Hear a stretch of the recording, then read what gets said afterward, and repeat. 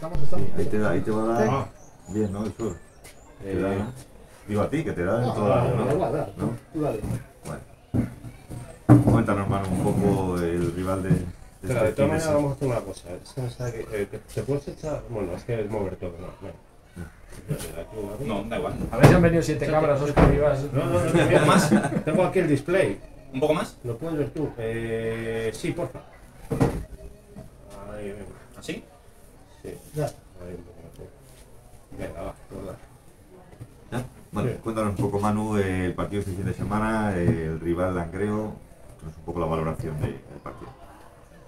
Pues a ver, el, el rival como, como todos los de nuestra liga, un, un rival muy, muy potente, muy, buen muy bien trabajado, eh, con muy buenos jugadores en todas sus líneas. eh, por destacar, eh, a mí me gusta mucho personalmente la pareja de centrales, creo que tanto Alain son dos centrales eh, de muchísimo nivel, entre los dos, eh, a ojo, deben llevar eh, 600, 700 partidos en, la categoría entre segunda B y segunda división.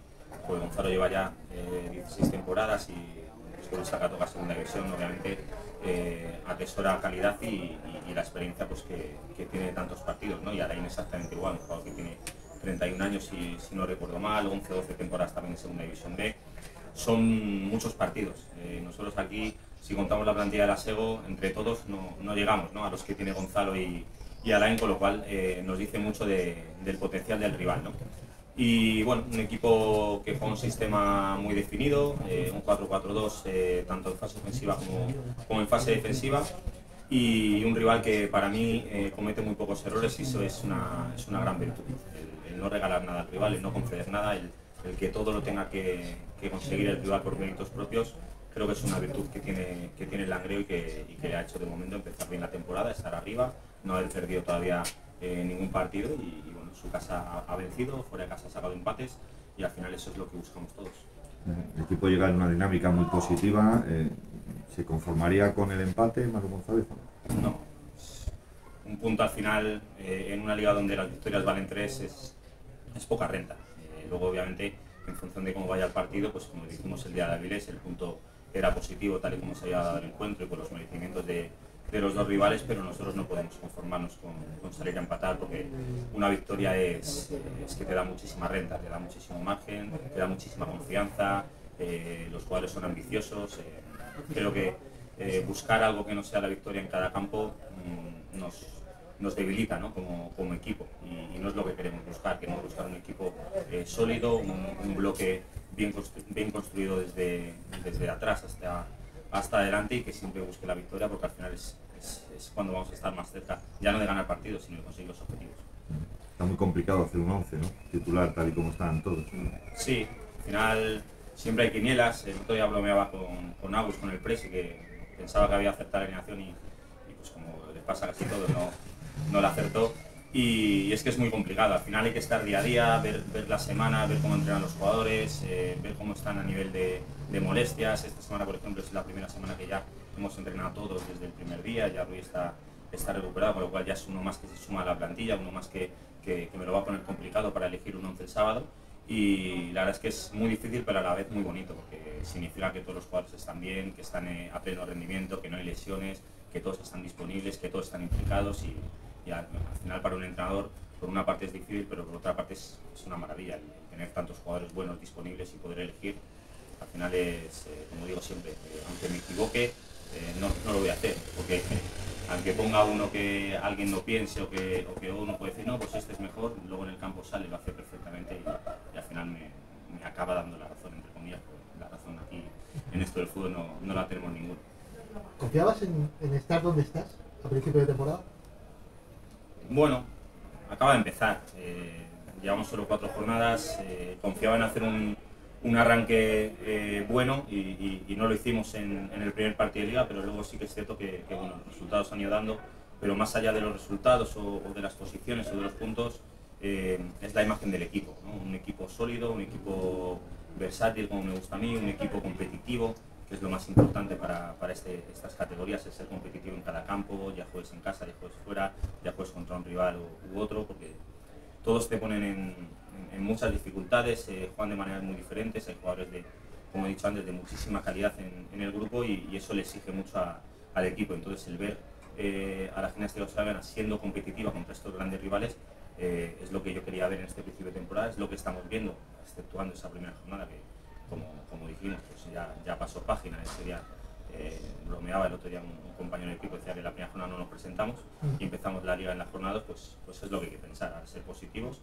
y seguir este, este camino que estamos haciendo, lo que creo que es el, es el camino correcto y es lo que esperábamos, eh, porque para eso trabajamos, ¿no? para ver una gimnástica segoviana eh, competitiva contra cualquier rival.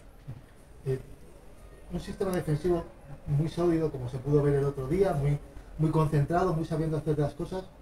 Por ponerle un pero, ¿no, ¿no resulta demasiado arriesgado cuando el equipo contrario está tan volcado recuperar la pelota y tratar de jugarla?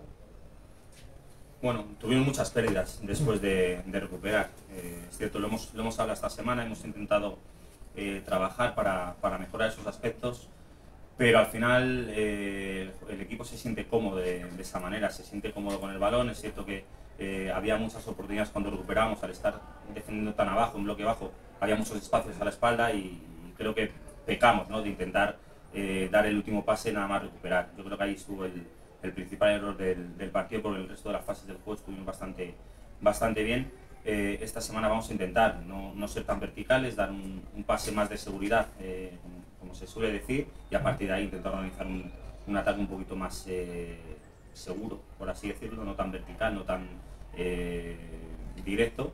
Pero bueno, eh, es la manera de jugar que tenemos. eh, nos gusta ser eh, ofensivos y cuando nos quitan la pelota y estamos sufriendo, lo que queremos es intentar hacer daño, plantarnos en campo rival lo más rápido posible. Y el otro día lo intentamos y no salió bien, pero bueno, yo creo que son circunstancias del partido. Yo creo que en otros días sí que, sí que lo hemos hecho con más acierto y lo que hay que hacer es seguir mejorando, seguir trabajando esos pequeños defectos o, o grandes defectos para otros que, que tenemos y intentar poquito a poco que, que vayan desapareciendo. ¿Y a ti no te pide el cuerpo de vez en cuando decirle a un defensor, pero dale un gorrazo cuando, cuando desbaratas la jugada de ataque en el área y ves que, que- que lo que hacen es intentar enseguida jugar? A ver, es que cada uno, cada uno es como es. Eh, yo he, he intentado hacer un equipo eh, que le guste el balón y que le guste tenerlo. Entonces, como he firmado o intentado fichar ese- esos jugadores, ahora no puedo pedirles otra cosa que no sea esa. Sería, iría contra, contra mi, mi idea, contra, contra mi forma de ver el fútbol y sería tirarme piedras contra mi propio tejado. Nos va a penalizar algún día, eh, desde luego. Pero bueno, es el, el precio o el peaje que tenemos que pagar para, para intentar construir el equipo que, que- que quiero construir yo o que queremos construir aquí en la gimnasia segoviana y obviamente pues algún día por dentro, no- nunca te lo reconoceré, pues seguramente lo, lo piense o, o lo pueda pensar, pero, pero ya te digo, al final eh, hemos hecho un equipo para intentar tener el balón y para intentar divertirnos eh, alrededor de, de la pelota y, y no, podemos, no podemos mandar mensajes contradictorios. ¿El sistema es innegociable? No, no, para nada. Eh, de hecho, utilizamos a lo largo de, de los partidos normalmente dos, dos sistemas diferentes eh, en fase ofensiva o fase defensiva en función de, también de, de dónde presionemos y, de- y del rival. Y habrá partidos en los que juguemos con otro, con otro sistema de juego, seguro. No sé si uno o dos sistemas de juego, pero, pero este, este año sí que vamos a ver eh, varios, eh, varios esquemas eh, de juego al inicio de los partidos, pero ya te digo que es- el equipo durante, durante el propio encuentro va cambiando. Muchas veces he escuchado comentarios de periodistas de está jugando como un 4-4-2 o como un 4-4-2, la gimnasia segoviana nunca juega como un 4-4-2, pero hay veces que, que descolgamos mucho a uno de los interiores o a media punta y con fase defensiva presionamos con dos y parece que es un 4-4-2.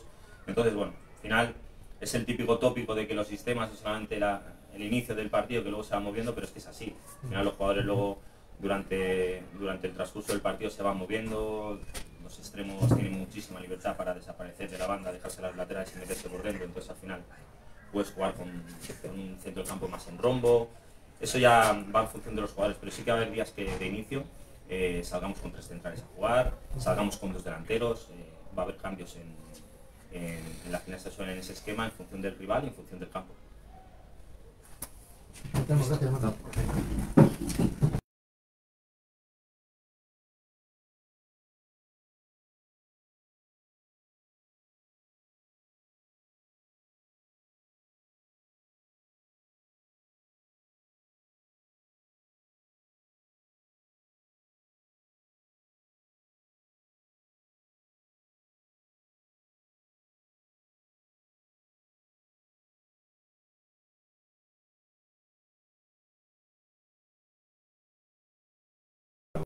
Preguntamos a Adri un poco cuál es el ambiente en el vestuario después de este magnífico arranque de temporada.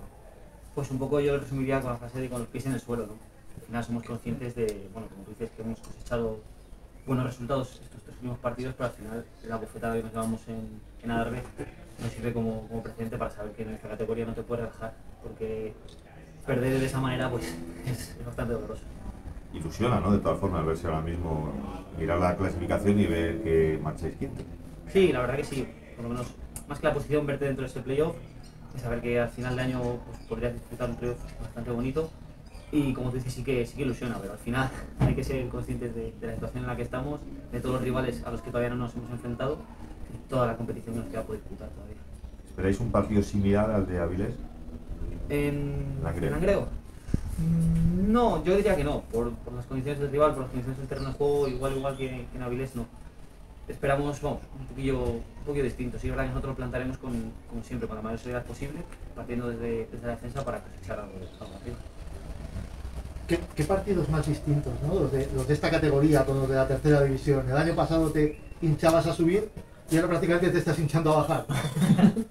Sí, bueno, al final, pues oye, nosotros lo resumimos entre, compañeros diciendo eso, que al final es como jugar todos los días contra los tres rivales de, de la clasificación del año pasado, como estar todos los días jugando contra la Andina, todos los días jugando contra el Ávila. Al final es así. Sí que es verdad que, oye, el año pasado te- me, permitía poder desplegarme más ofensivamente, pero este año un lateral al final lo primero que tiene que hacer es, defender. Por muy bien que ataque, si no defiendes bien, estás vendido. Y como tú dices, sí, al final, oye, esta categoría hay jugadores de, de gran calidad de- que han jugado en otras categorías, como compañeros que tenemos, como Simanowski, por ejemplo, y no te puedes despistar en cualquier, vamos, en ningún momento porque te cuesta. Es un poco como lo que hicisteis la semana pasada, ¿no? Que, que el sistema defensivo funcionó excelentemente bien, ¿no? Porque al equipo, un equipo como, como de la semana pasada concedisteis una ocasión y media. Sí, la verdad es que les conseguimos un poco a un equipo que a mi gusto, eh, combinativamente, de lo mejor que nos hemos enfrentado hasta ahora, porque sí es verdad que en el medio tenían muy buenos jugadores, tanto las bandas como sí es verdad que luego cambiaban, se metían hacia adentro, y sí que como tú dices tuvimos que desplegarnos bastante bien defensivamente, todo el equipo, no solo la línea defensiva y mano y pivote, sino todo el equipo. Pero bueno, al final conseguimos neutralizarles, como dices, y hacerles los goles, que no era nada fácil, que llevaban, ellos no habían recibido todavía ningún gol en contra. Adri, ¿Listo? Gracias. Muchas gracias. Vaya tratándote, ¿eh?